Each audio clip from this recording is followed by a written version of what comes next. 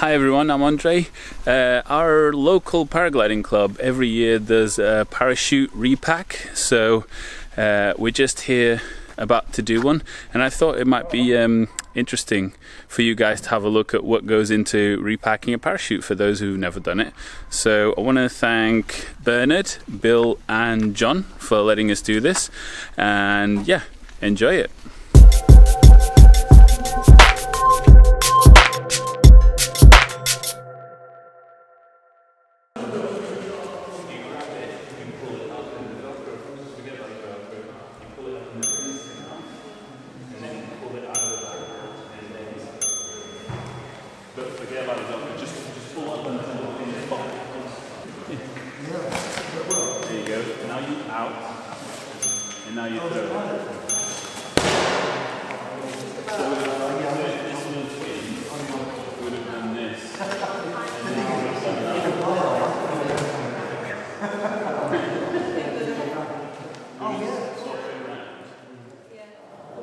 Good afternoon everybody.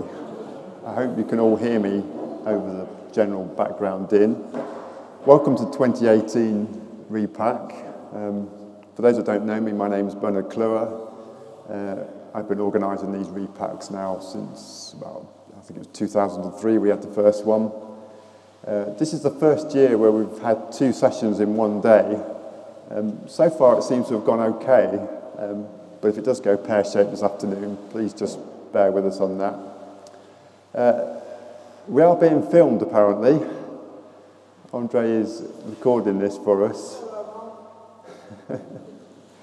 so, uh, if you want to ask the silly questions, you might want to wait till we finish this bit.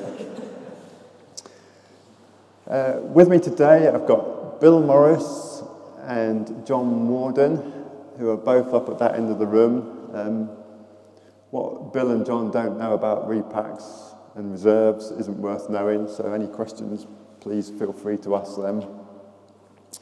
Uh, also today I've got Chris and Ed who are there, who've both done the Repackers course and are now uh, trying to get experience and practice before they do their exams.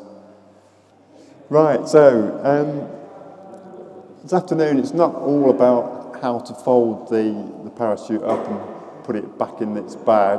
Um, although that's fairly important, it's not the be all and end all of, the, of what goes on. We have a system which is uh, comprised of several parts. Um, the reserve and its bag, which will probably look something like this, and then there's the harness.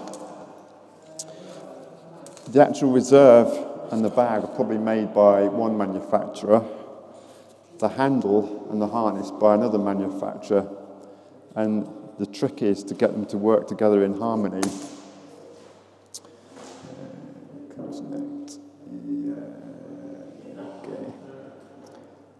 Um, so we're going to have some tips about you know, how it works, uh, some tips about how you can decrease your deployment time and what to do in the case of emergency. Terminology. Anybody not familiar with those, all those terms on there? Um, in particular, what we call the mouth lock at the bottom there is where we've got a bight of lines through some sort of elastic closure system that holds the inner bag or deployment bag around the actual reserve quite a key part of the system, that, because if this doesn't come undone, then your reserve is not going to deploy and you're going to hit the ground fairly fast. Uh, deployment bags, usually some sort of clover leaf thing shaped like this with various bits of elastic on them that hold things in place. Uh, some of the ones, like the gin ones, tend to be more of an envelope pocket type affair.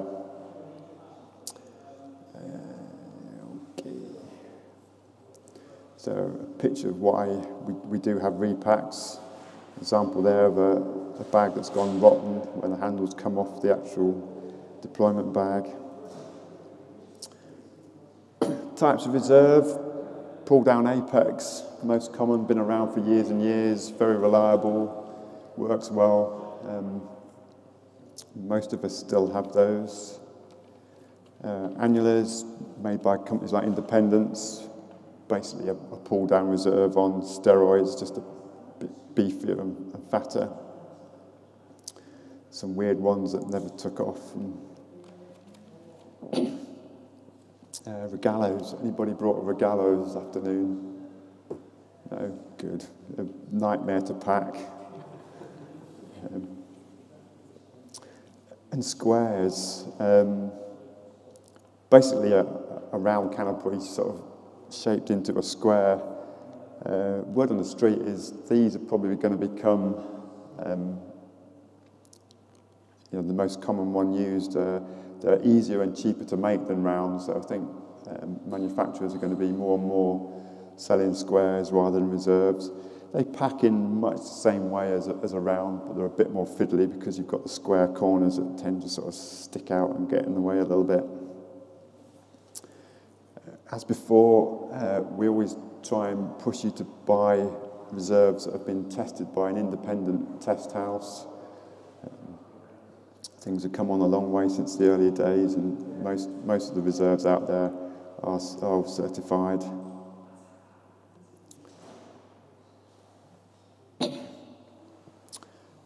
Uh, most common cause of paragliding accidents is low-level collapses. Um, when we're flying near to the hill, coming into land, when we're flying in the, in the boundary layer where there's more turbulence, uh, we're more likely to go to collapse. In that situation, you need to be switched on and be, be prepared to use a reserve. And I've got some, some slides later on about that. So when you come to do your test deployment, there's three things that you've got to do to make sure your reserve works. First one being find the handle on the harness and pull it such that these pins, um, they may be pins or they may be bits of plastic wire, come out of the loops in the harness and this package is then comes out of the pocket on the harness. You then have to throw this lock, stock and barrel such that this mouth lock comes open and the reserve is then in free air and will open. If any of that fails, if you can't get those pins to come out, if that mouth lock doesn't open, then it, the reserve is not going to come out. There's going to be a problem. So when you do your throw, put the harness on, um, pull it, throw it, and make sure that it comes out into free air. If it doesn't, come and find one of us and we'll have a look at it for you.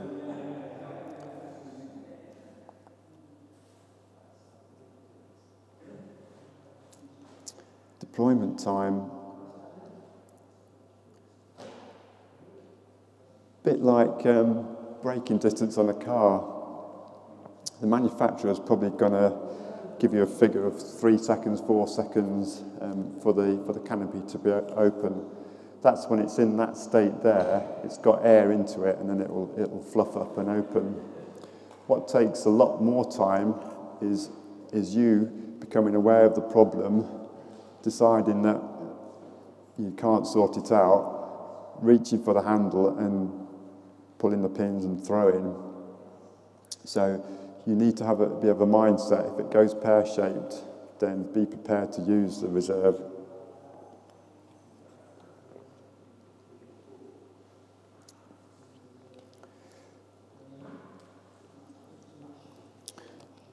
Handle location, um, usually somewhere down on your right hand side. The next time you go flying, if it's safe to do so, just reach down and tap yourself where you actually, where the handle actually is. And that's called body memory, and it'll help you when you actually come to have to do this for real.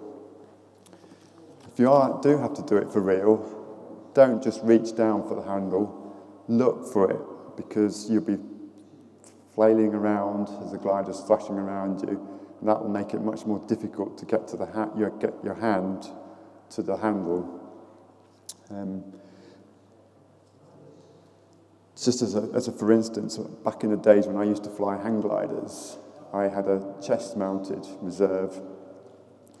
And I originally thought, oh, the handle's going to be up here on my chest. When I actually tried reaching for it, I found it was actually right down here, sort of on my stomach. So next time you're flying, just reach down and feel where that handle actually is.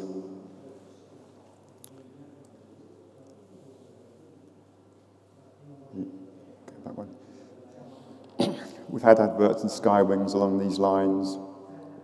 Uh, low level collapse, you've not got time to be messing around trying to sort it out, especially if it's started to spin.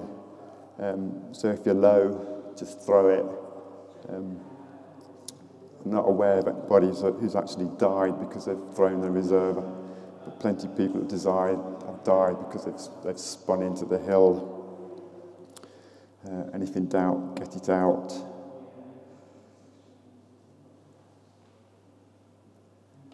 Coaches, any coaches here?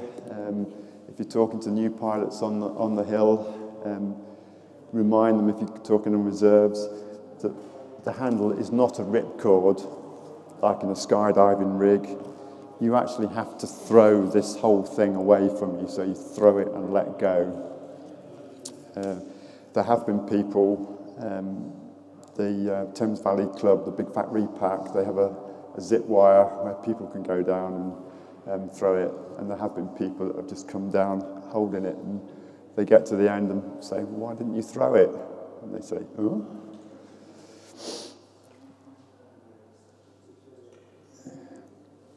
Some tips about if you have deployed it, um, try and disable the wing, the main wing.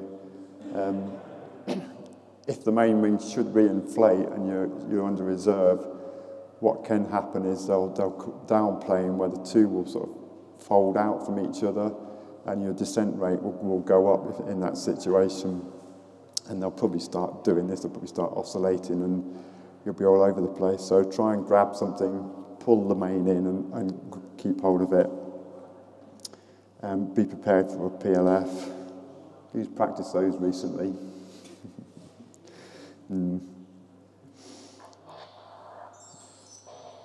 Probably about time I took this slide out. This is some recommend, recommended descent rate is five and a half meters a second. Um, quite a lot of the reserve these days, you'll come down slower than that anyway. But five and a half meters a second, that's like jumping off a six foot wall, so um, which is still pretty high. And I think most people, if they were asked to do that, would, would, would sort of look, look twice at that one. So I've been through that really. Uh, yeah, don't, don't take the reserve off the harness. Um, what tends to happen if you do that, if you take it off, is you'll probably end up getting the end of the bridle wrapped around some lines um, and you'll get twists in it. So leave it on the harness because you'll find it much more difficult to get the harness through the lines. Uh, pop and pull, we've been through this again. Uh, for those who, those that you've uh, not been before, when you pull the handle, the elastics on the harness will sort of make a popping noise, so we call that pop. Um, but the key thing here is, especially for harnesses where the reserve is sort of underneath and in quite a narrow pocket, uh, some of the fancy um, pod type harnesses uh, suffer from this the direction that you pull the handle is not the direction that the reserve wants to come out of that pocket.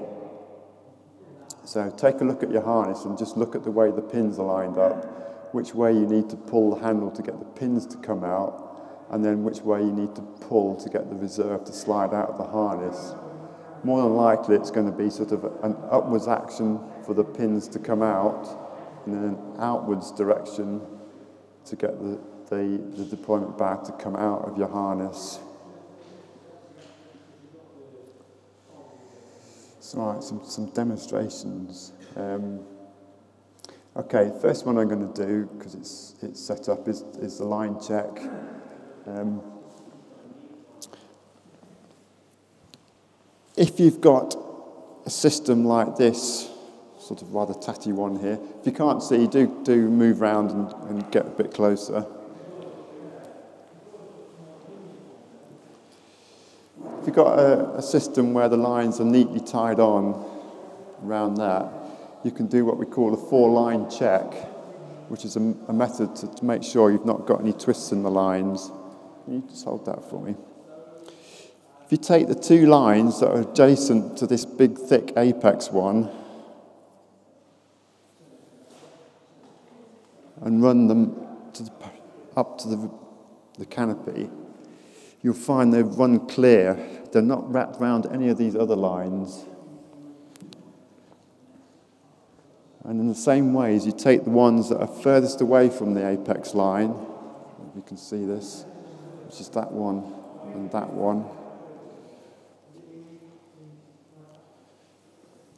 These two will run clear to the very bottom of the canopy. And if, the, if you've got the top lines and the bottom lines running clear, that means all your lines are clear and there's no twists in it. If you can pop that down now, thanks.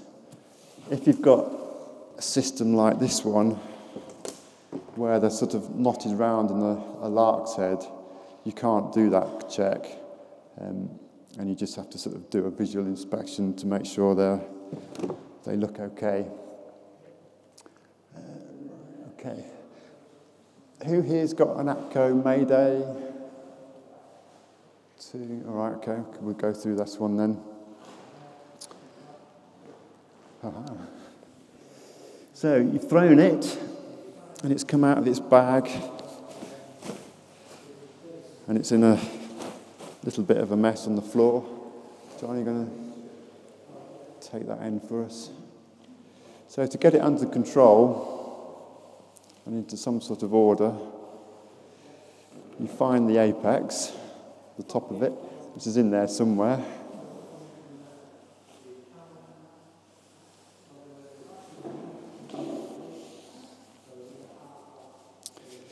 We pick it up and we're going to do what's called flake in the gores or a gravity flake, which basically means you're going to follow each panel, follow the hem around each panel, lift it up, have a look at it, check for any obvious damage, and take it down. Follow the hem round.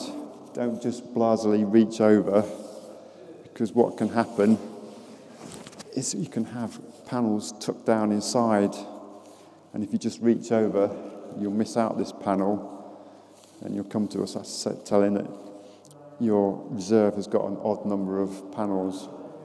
Um, I've not come across one yet that does have an odd number of panels. Um, so you follow the hem round.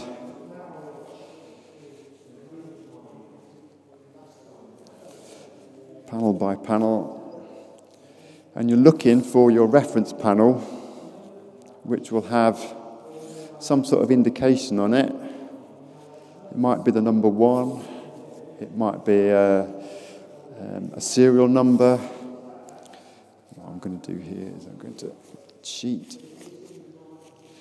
But, or it might be a, a stamp from the manufacturer. Once you've been around the whole thing and you've got back to your reference panel, you can then split it in two. So it's an 18, this one, I think.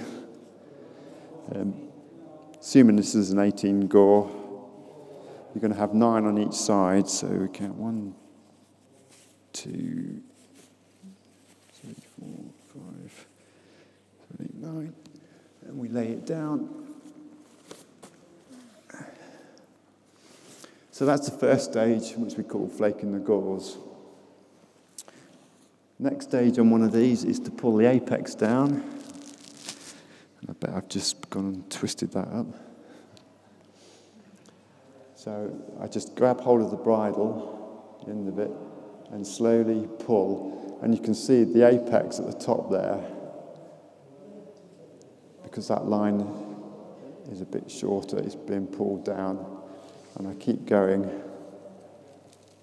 until all the lines are tight. And you shouldn't have a load of twists in it like we have on that one now.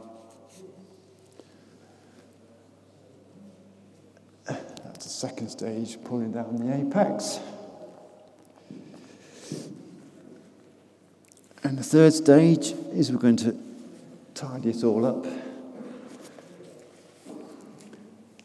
So we take everything on one side, fold it over to the other side,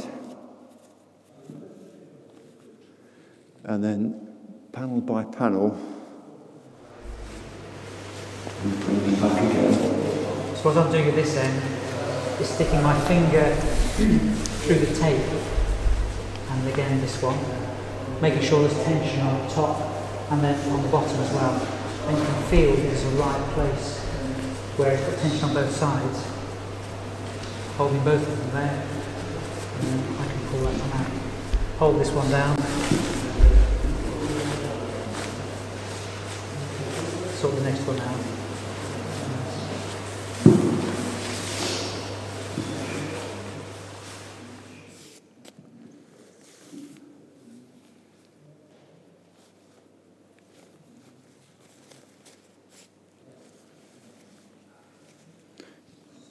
I think we've got some panels inside there. You'll notice there that panel was inside the other one, which is because when I did the gravity flake, I cheated and skipped a few out for for speed of uh, the demo.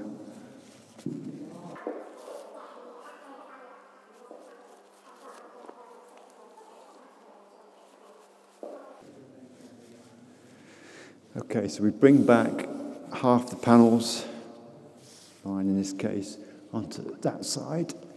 And then the next stage is we take everything from that side over. And again, we bring panel by panel back again.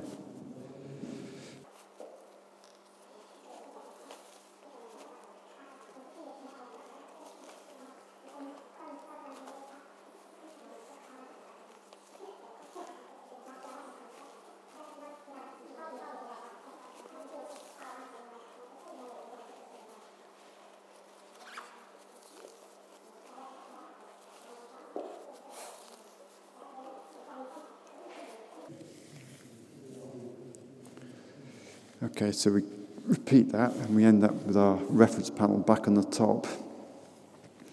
This is the point at which most manuals will say to do your line reference check, um, which I always think is a bit of a waste because if it is wrong, you, you're probably going to mess your, your nice neat folding up checking it. Um, so you might want to think about doing it just after you've done your gravity flake and, and laid it out on the floor. And I suspect if I tried this one again, it's not going to work. Is, it, is it an, example of it being in a mess?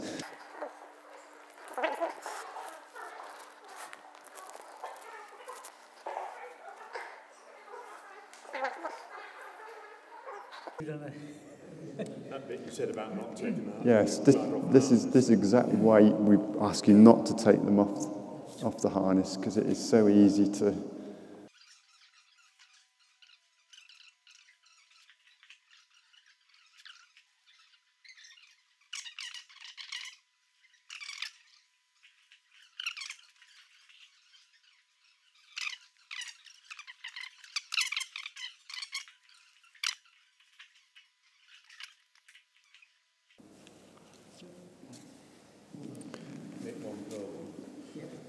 Perfect. Okay. Next stage of doing an, an APCO Mayday type. Uh, is folding it into a long sausage. Um, different manufacturers have different ideas on how to do this, but we'll show you the APCO one because that involves creating a little air channel.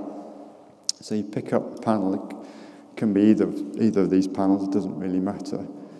Put your fingers inside and spread it out to make a little air channel there to catch the air. You then fold in the corners.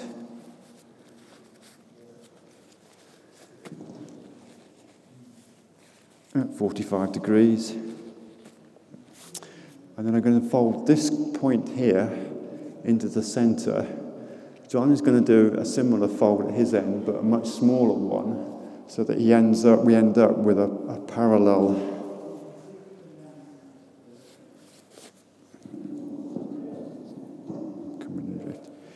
I'm going to do the same on this side, take this corner, fold it into the center, keeping my little air channel out. And then we're going to fold the thing in half again. And as I do that, I'm just pulling, can you all see that? I just tease that out so that it's lying along this edge. Okay? And that is the basic APCO fold.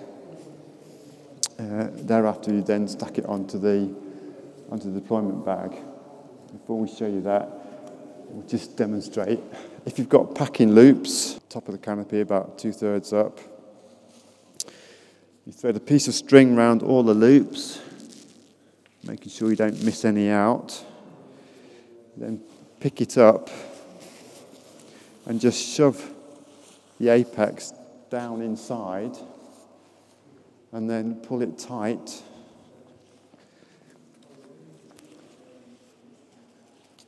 Like that.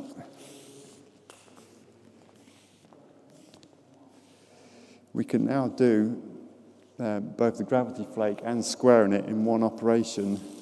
So we go round the whole glider, panel by panel as before, making sure nothing's tucked inside. John can square that end off as he goes. And basically, we go round till we end up with the reference panel on the top, and then we lay it down. And that's both operations done in one go. Just lay it down, I think, John. Enough of that. Um, is it worth showing them a five way fold? Uh, trick for a five-way fold. Some of the um, gliders don't fold up like the APCO one. You sort of S-fold it up. Is this a bit unbalanced? um, right, which way are we going? Five-way fold is you're basically moving one hand on top of the other hand. So I'll take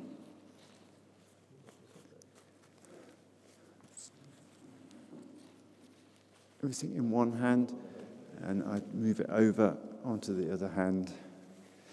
You're aiming to have the lines in the center of the fold, like that. And then similarly, you put hand underneath there and lift it over onto the back of your other hand. And that's how you do a five way fold. Um, right, okay. Uh,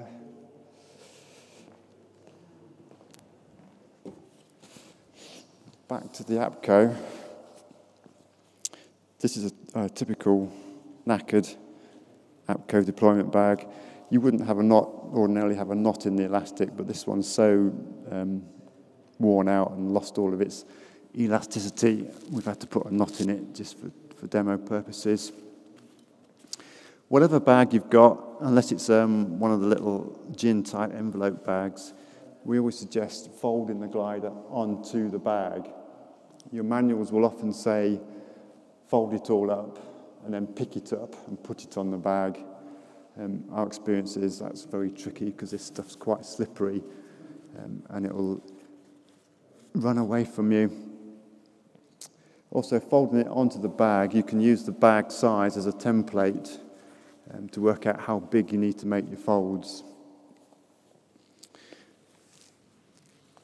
When you do the first fold, we recommend you make it slightly smaller than from the, from the hem. This hem's a bit thicker than the rest of the glider, so if you put, folded this on top of it, you'd end up with a stack that tends to do that. Plus it leaves then a little space to actually fold the lines into.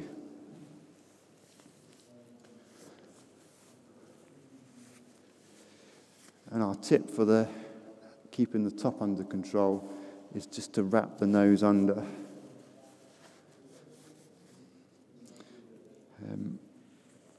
On, on the Maydays, you would normally have, I've lost one here, on this elastic, you've got two bands on each side. These are where the lines are going to be stowed after you've closed up three of the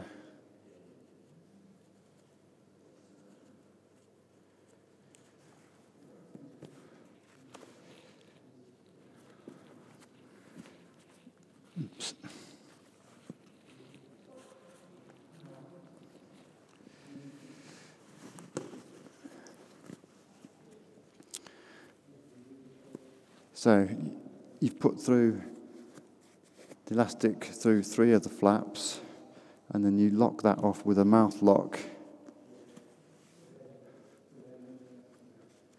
like that. You can then stow the lines. So you'd S them up, again, using the bag as a template to get the width right.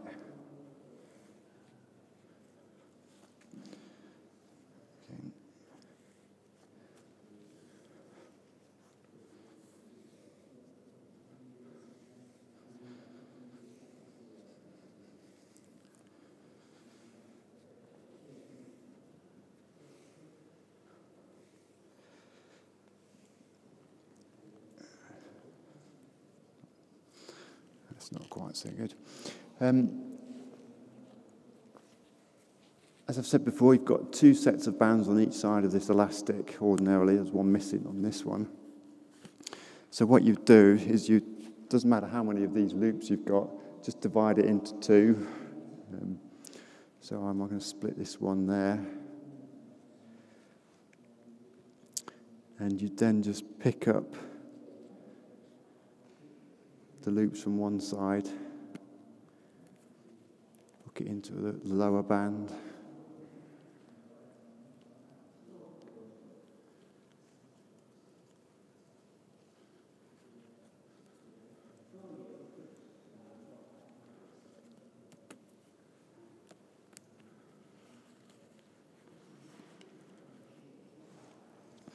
You then take the loops, the remaining loops,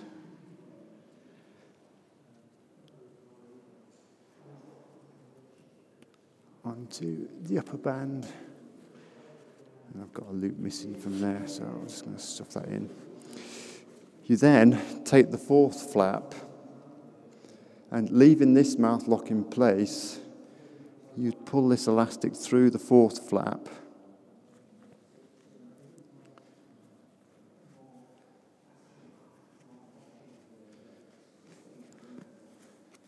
And close that off with a second mouth lock. Other manufacturers don't have two mouth locks, but the APCO Mayday does. The other ones, you fold all four flaps up um, and close it off with just one mouth lock.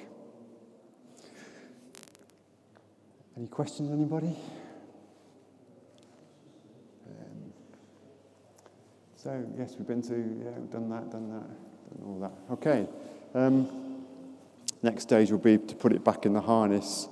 Um, I can't really demonstrate that because there's so many different harnesses out there, so many different reserve manufacturers. We'd be here all day trying to work out all the different combinations. Um, if you're struggling with that, come and find us and we'll help you sort that out. Um, so if you'd like to sit down again, I think there's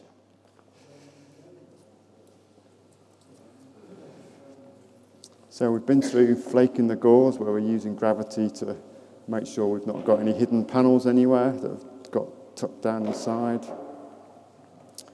Uh, as you're doing that, just look at the glide. If you can see something obviously wrong with it, then that's a problem. If you have to peer at it really closely, then, then it's not worth worrying about.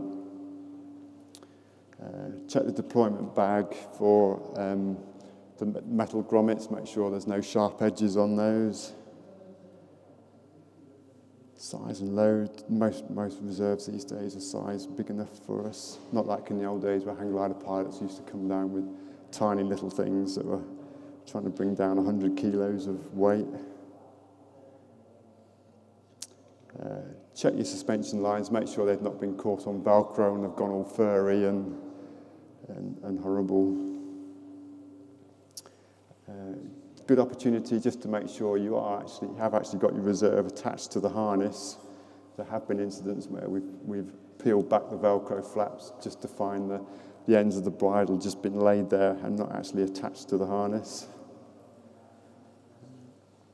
Uh, check your, connect, your connectors are done up. Uh, good opportunity just to have a, a once over on your harness. Um, make sure if you've got a carbon seat plate, make sure that's not being cutting through any of these leg straps or anything nasty like that. Uh, bands, um, we don't like, we don't want to see the deployment bag tied to the reserve. Uh, there have been incidents in the early days where people have managed to tie it on and it's stopped, it's held all the lines together and that's stopped the canopy from opening. Uh, and we don't like to see webbing to webbing connectors. Um, there should be a maillon in between them. Um, so you might want to check that because sometimes we find that the shoulder straps, they've just studied the, the webbing of the wire bridle through the, the loops on the harness.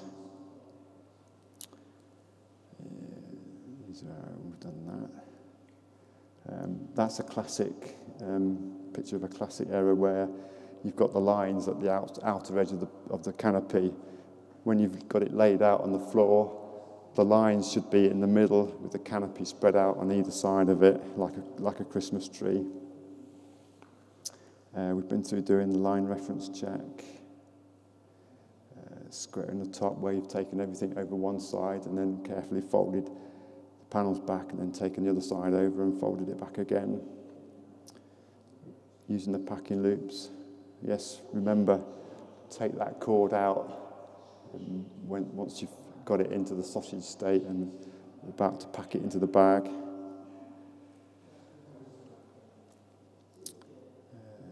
we've been through that. Pack it onto the onto the, put the put the deployment bag underneath and pack it onto that because you can use that as a template to, to gauge the size and the hem step. Uh, and there's there's a various examples of all the different ways you can store the lines.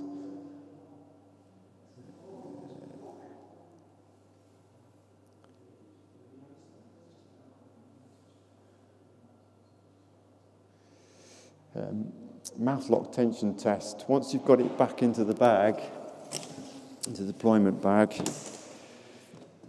before you put it back into the harness, just pick it up by these lines and make sure as you lift, this is coming out. If you can lift this so that the whole thing comes off the deck, then it's probably going to be a bit tight, and we need to look at that because there's too much tension on that. Uh, once you've put it back into the harness, just pick the harness up and put your knee in the back of it or put it on and give it a good wriggle just to make sure it's not all too tight and it's going to um, pop the pins uh, as you sit, sit back into it and pop out. And make sure you've not got your speed bar routed through um, the handle or anything daft like that. So, as we've said it's half a dozen times, please don't take the reserve off the harness. Um, but I have done all that.